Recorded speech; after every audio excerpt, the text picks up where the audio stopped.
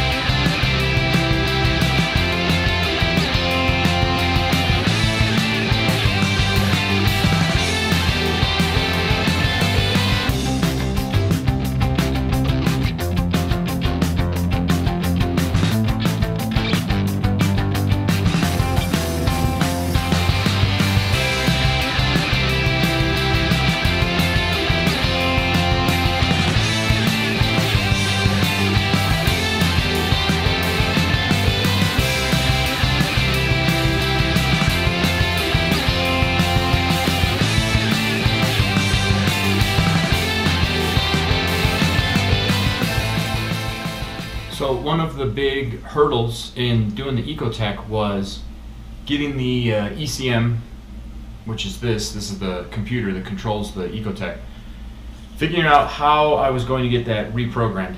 It needs to be reprogrammed because if you just pull it out of the car from the junkyard like I did, it's programmed to do all sorts of things that we don't want it to do uh, things like communicate with the other modules in the vehicle and, and all sorts of things that'll make it so that you can't just you can't just pull it from the car and wire it up standalone and be good to go. You just you can't do that. You need to have it reprogrammed. Now, if you're familiar with HP Tuner and you have HP Tuner, you can do that yourself and that's great. I'm not familiar with HP Tuner. I don't have HP Tuner. I'm not interested in buying it and trying to figure out how to program these, so that wasn't really something that I was interested at the time. So what I did is obviously a whole bunch of internet searches, uh, gathering all sorts of information. I ended up calling uh, AlphaFab, which is a company out of Michigan, which basically specializes in Ecotec swaps similar to this. I called them up.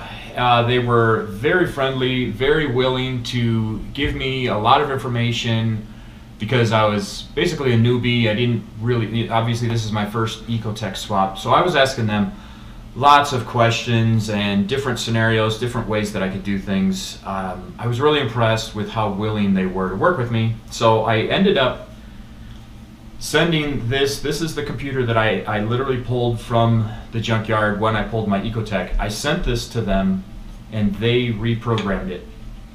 They put a standalone program on here so that now when I wire this up, this should have only what it needs on it to operate the engine.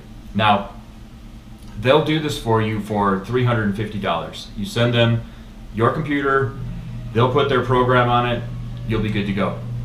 In order to do that, then you need to trim your own wiring harness. And that's what I'm going to do in this video today. I'm going to take the factory wiring harness that I grabbed with the motor, with the computer, and I'm going to take things off of it that I don't need and reconnect things that it does need that it doesn't have now because of how I ripped it off the car. Um, and I'm going to go through the wiring harness and do all of that. Now, that's a, that's a bit risky um, because number one, it's an old wiring harness. Number two, there's a lot to it. And AlphaFab, you know, they're sending you their program, so they've programmed this, but they're relying on you to be able to properly wire up and make this wiring harness. And that's a little bit risky to them because they might do the programming and then you might have some things not properly done in your wiring harness that will make it appear as though there's something wrong with the computer. So it can get a bit frustrating for both parties. So what they recommend is for $750 from AlphaFab, they'll supply you with a computer and it'll have their program on it and then they'll also give you a brand new wiring harness that they made that is specifically made for a standalone Ecotec and it's going to have the relays built into it for the fuel pump and the electric fans and everything that you need. So basically you would get the computer from them, you would get the wiring harness, you would plug it in, you would supply it with some grounds and supply it with some ignition voltage and some battery voltage, and you would be good to go. And it's all brand new. It's brand new connectors, brand new wire, everything. So you're going to watch me do it this way. For 350 bucks, I had them program the computer, and now I'm going to trim my wiring harness and I'm going to get it going in this video. We're going to set that all up. And then in the next video, or maybe maybe two videos from now, we'll actually be doing, we'll be starting up the motor, so then we'll know for sure if the wiring harness was done properly. So what I'm saying is, option number one is the way that I'm doing it for $350. But if you can swing it, uh, I think it would be a lot easier, a lot easier, and probably safer for you to do the $750 kit because then you're just going to get everything that you need. You're just going to plug it all in, hook it up with power, and you'd be good to go.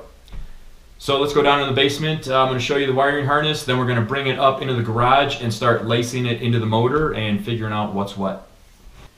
All right, so here I've got, this is my wiring harness. And what you're looking at here is when I grabbed the wiring harness, it was obviously all wrapped in uh, plastic and tape and everything.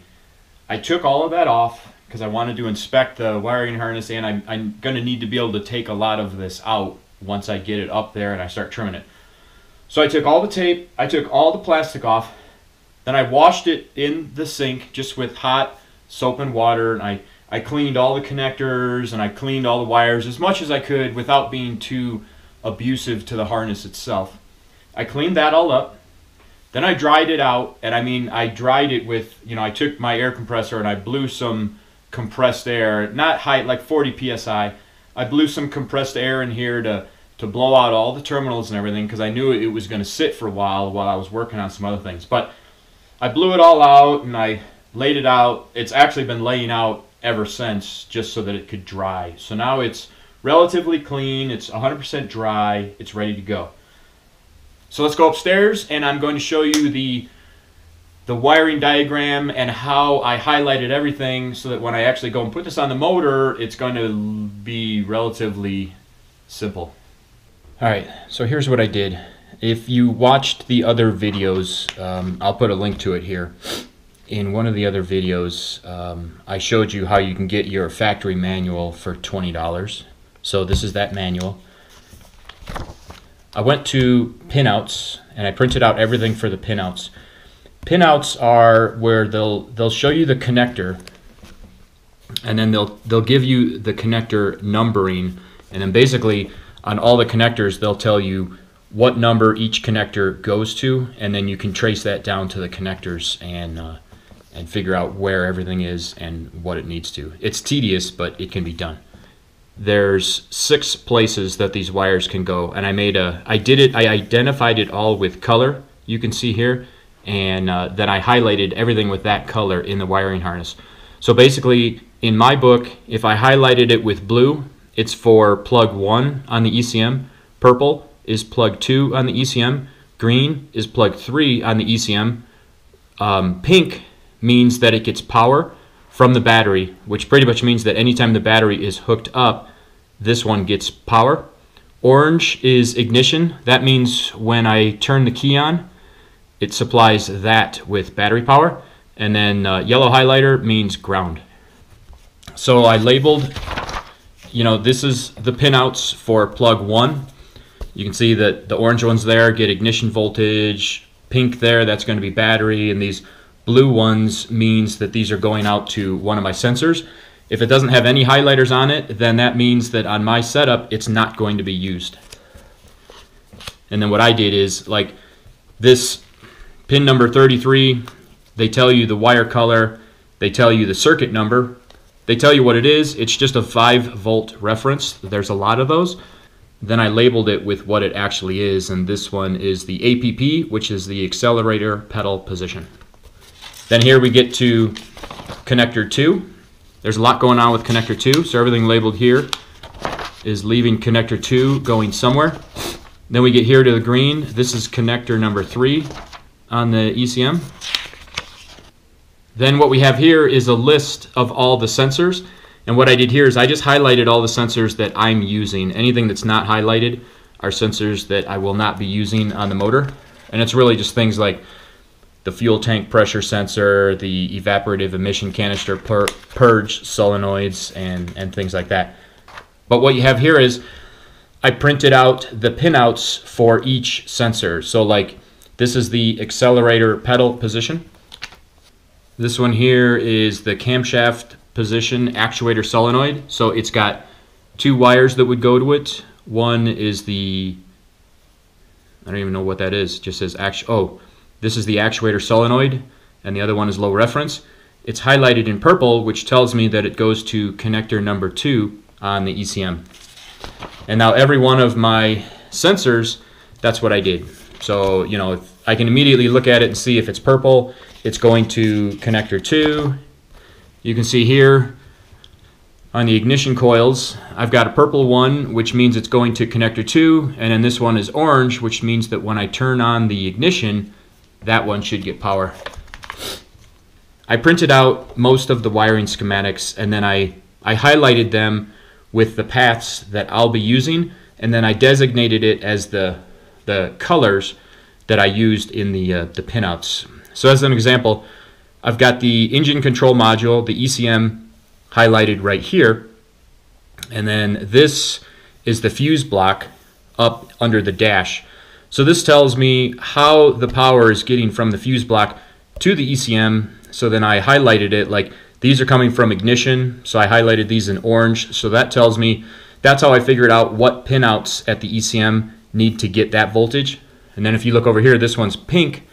So this one is the battery positive. So that's how I figured out how the ECM's getting the battery positive and these are the ALDL connectors and the grounds and I just went through each one, each schematic kind of highlights different areas, and I just I would highlight my sensors, and then I, with the appropriate color, I would just highlight how they were getting their sensors or their power or their grounds or what have you. I mean, I spent I spent hours going through doing all this, but once you do that, you have a pretty good roadmap of where things are fed from and where they're going, and in the process of doing all this, highlighting it, you really get a pretty good understanding of of how your whole system's going to work. So I highly recommend doing this since you can print all this out for $20 and then just grab some highlighters. Um, it's, it's very helpful so that once I get this all in place and I'm trimming it, I'll have a really good roadmap as to where all the wires should be going. And then if I do end up having some problems, I can imagine that this will really help me with the troubleshooting. Anyways, that's how I made my uh, wiring diagrams and my book. And this, this is a, a, very valuable resource now for when I go out there and trim the wiring harness. Um, so let's go do that now. We'll go grab the harness out in the basement, throw it up on the motor, just kind of lay it in place, start plugging everything in, and uh, see what we can start trimming.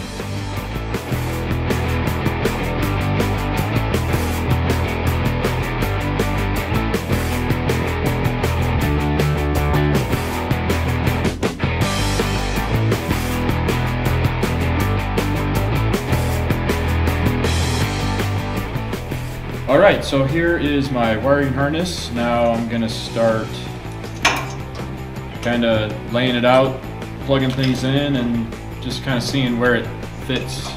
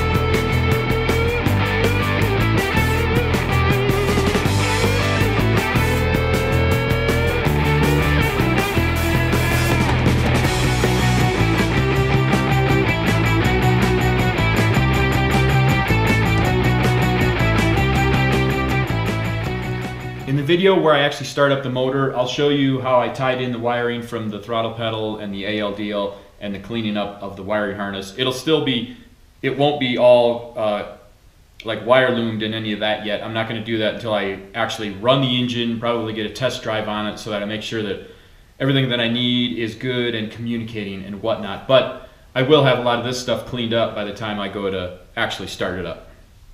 So thanks for watching the video, guys. I hope you enjoyed it. I hope it's possibly helping you with some of your projects and maybe getting you out into the garage or the shop or whatever to work on your own projects. And hopefully I see you in our next video. Take care.